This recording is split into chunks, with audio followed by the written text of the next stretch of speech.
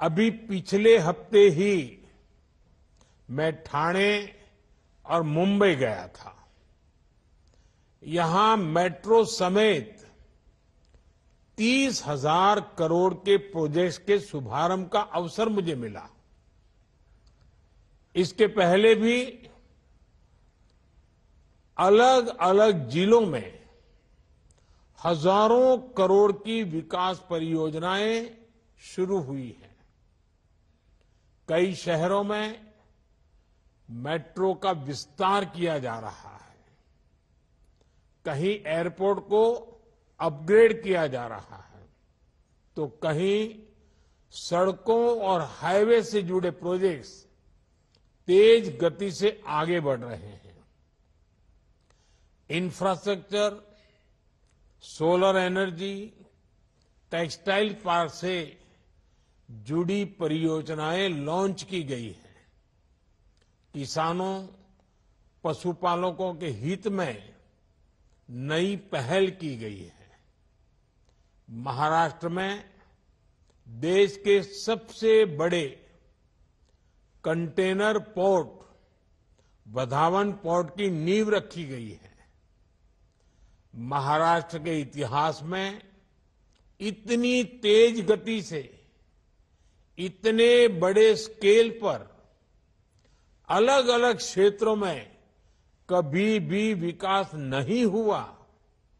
हाँ, यह बात अलग है कि कांग्रेस के राज में इतनी ही तेज गति से, इतने ही स्केल पर अलग अलग क्षेत्रों में भ्रष्टाचार ज़रूर होता था।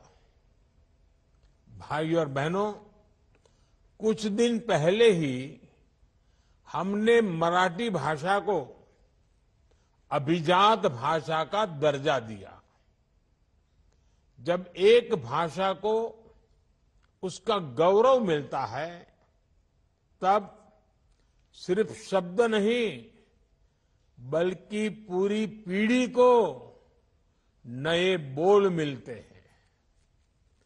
करोड़ों मराठी मानुस का दशकों पुराना सपना पूरा हुआ। महाराष्ट्र के लोगों ने जगह जगह इसकी खुशी मनाई। आज महाराष्ट्र के गाँव गाँव से मुझे खुशी के संदेश भी भेज रहे हैं। महाराष्ट्र के लोग अपने संदेशों में मराठी को अभिजात भाषा का दर्जा देने के लिए मुझे ढेर सारे धन्यवाद दे रहे हैं। लेकिन मैं बताना चाहता हूँ, ये काम मैंने नहीं, आप सबके आशीर्वाद ने किया है। महाराष्ट्र के विकास का हर प्रयास छत्रपति शिवाजी महाराज, बाबा साहब आंबेडकर, ज्योतिबा फुले, सावित्रीबाई फुले, जैसी विभूतियों के आशीर्वाद से हो रहा है। साथियों, अभी कल ही हरियाणा और जम्मू कश्मीर के चुनाव परिणाम आए हैं। हरियाणा ने बता दिया है देश का मूड क्या है? मिजाज क्या है? दो बार कार्यकाल पूरा करने के बाद लगातार तीसरी बार चुनकर आना ऐतिहासिक है।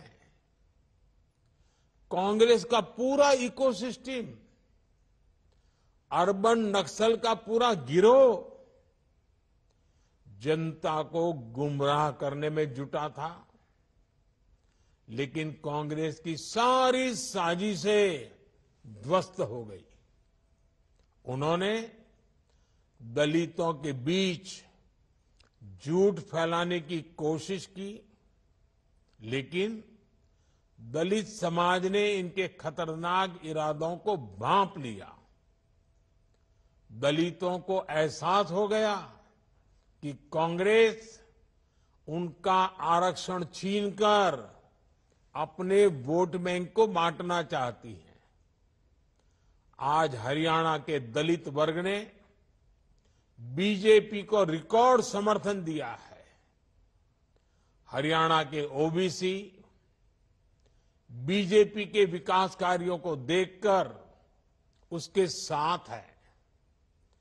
कांग्रेस ने किसानों को भड़काया। लेकिन किसानों को पता है कि उसले, उनसे फ़सलों पर एमएसपी किसने दी? हरियाणा के किसान बीजेपी की किसान कल्याण योजनाओं से खुश है। कांग्रेस ने युवाओं को टारगेट किया और अलग अलग तरीके से उन्हें भड़काने की कोशिश की।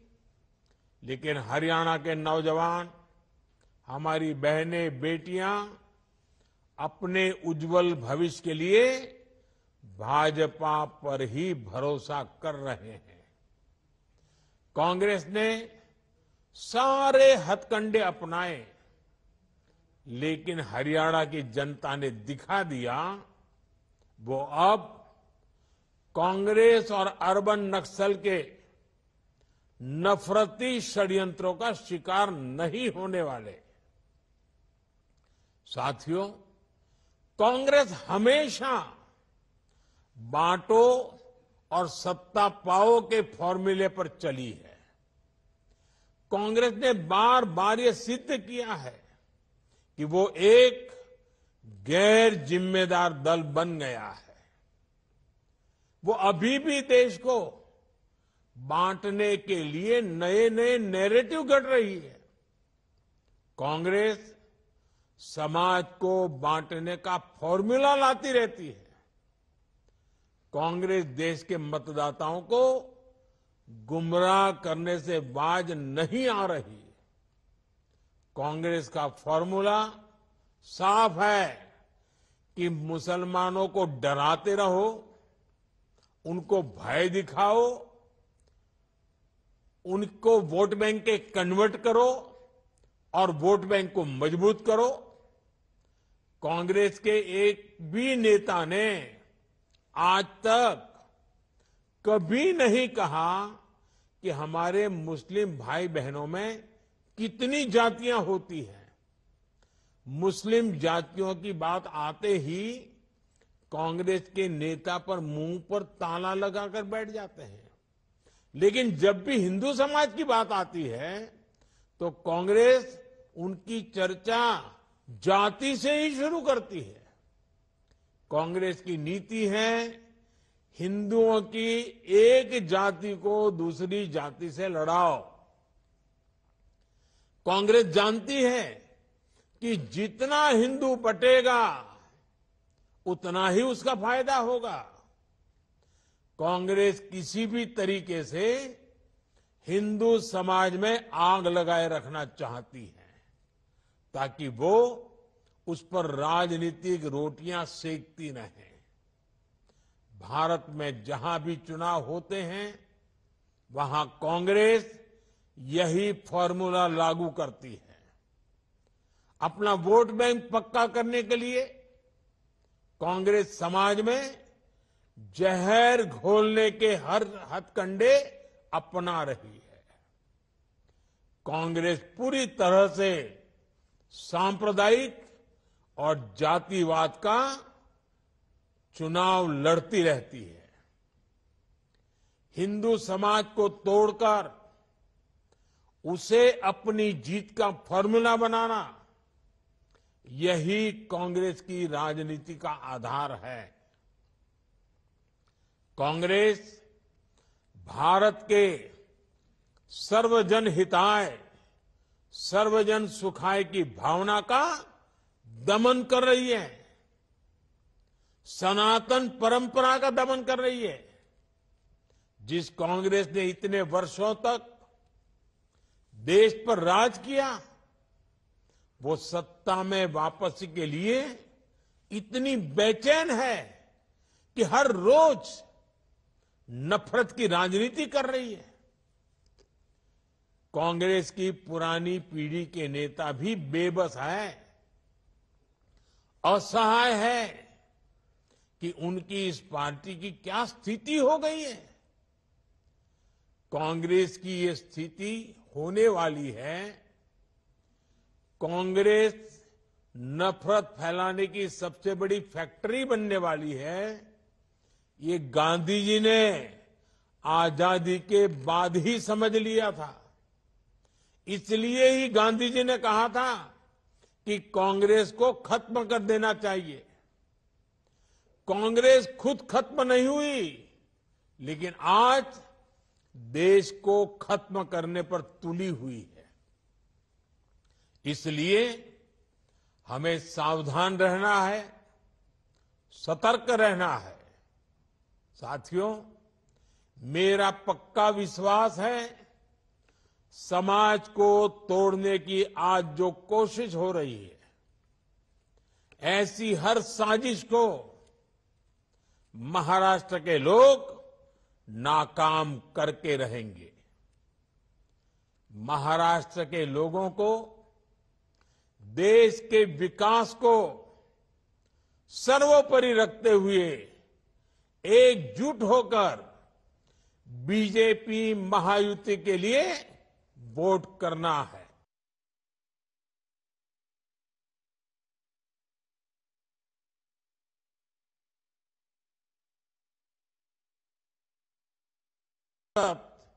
यापेक्षा मोठा विजय मिलवाए चाहे। साथियों पिछले दस वर्ष में हमने देश के विकास के लिए आधुनिक इंफ्रा बनाने का एक महायज्ञ शुरू किया है। आज हम सिर्फ़ बिल्डिंग नहीं बना रहे हैं, हम एक स्वस्थ और समृद्ध महाराष्ट्र की नींव रख रहे हैं। एक साथ दस नए सरकारी मेडिकल कॉलेजों की शुरुआत। ये केवल दस नए संस्थानों को तैयार करना नहीं है, ये लाखों लोगों के जीवन को बेहतर बनाने का महायज्ञ है। ठाणे, अंबरनाथ, मुंबई, नासिक, झालना, बुल्ढाणा हिंगोली, वाशिम, अमरावती, भंडारा और गढ़चिरौली ये मेडिकल कॉलेज इन सभी जिलों में और आसपास के क्षेत्रों में लाखों परिवारों की सेवा का केंद्र बनेंगे। इनके चलते महाराष्ट्र में 900 मेडिकल सीटें बढ़ रही है। अब महाराष्ट्र में मेडिकल सीटों की संख्या लगभग छह हज़ार हो जाएगी।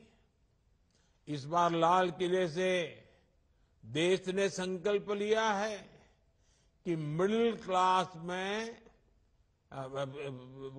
मेडिकल लाइन में, मेडिकल लाइन में पचहत्तर हज़ार नई सीटें जोड़ी जाएगी। आज का ये आयोजन इसी दिशा में भी बड़ा कदम है। साथियों, हमने मेडिकल शिक्षा को सुलभ बनाया है। इससे महाराष्ट्र के युवाओं के लिए नए अवसरों के दरवाजे खुल गए हैं। हमारे गरीब और मध्यम वर्ग के ज़्यादा से ज़्यादा बच्चे डॉक्टर बने। उनका सपना पूरा हो, ये हमारी सरकार की प्राथमिकता है। एक समय में इस तरह की पढ़ाई के लिए मातृभाषा में किताबें ना होना भी बड़ी चुनौती थी। हमने महाराष्ट्र के युवाओं के हितों को ध्यान में रखते हुए ये भेदभाव भी खत्म किया है। अब महाराष्ट्र के युवा मराठी भाषा में मेडिकल की पढ़ाई कर पाएँगे। मराठी भाषा में पढ़कर वो डॉक्टर बनने का सपना पूरा करेंगे। साथियों, जीवन को आसान बनाने का हमारा प्रयास गरीबी के खिलाफ लड़ाई का बहुत बड़ा माध्यम है। कांग्रेस जैसी पार्टियों ने तो गरीबी को अपनी राजनीति का ईंधन बना रखा था। इसलिए वो गरीब को गरीब बनाए रखती थी। लेकिन हमारी सरकार ने एक दशक के भीतर भीतर 25 करोड़ लोगों को गरीबी से निकाला है। और देश में स्वास्थ्य सेवाओं का कायाकल्प इसका एक बड़ा आधार बना है। आज हर गरीब के पास मुफ़्त इलाज के लिए आयुष्मान कार्ड है। अब सभी देशवासियों में जो भी सत्तर के ऊपर के हैं, अब सत्तर साल की उम्र के बुज़ुर्गों को भी मुफ़्त इलाज मिल रहा है। जन औषधि केंद्रों पर, बेहद कम कीमत पर ज़रूरी दवाइयाँ मिल रही है।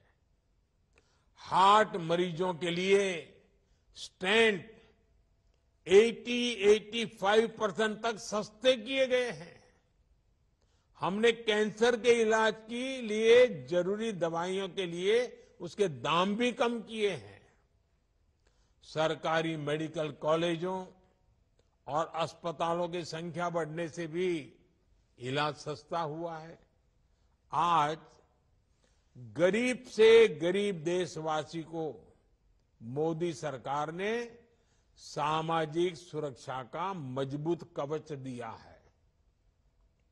साथियों, दुनिया किसी देश में तभी विश्वास करती है जब वहाँ का युवा आत्मविश्वास से भरा होता है। आज युवा भारत का आत्मविश्वास, भारत के उज्जवल भविष्य की नई कहानी है। दुनिया के बड़े बड़े देश आज भारत को मानव संसाधन के बड़े केंद्र के रूप में देख रहे हैं। हमारे युवाओं के पास पूरी दुनिया में शिक्षा, स्वास्थ्य से लेकर सॉफ्टवेयर तक हर क्षेत्र में अपार अवसर है।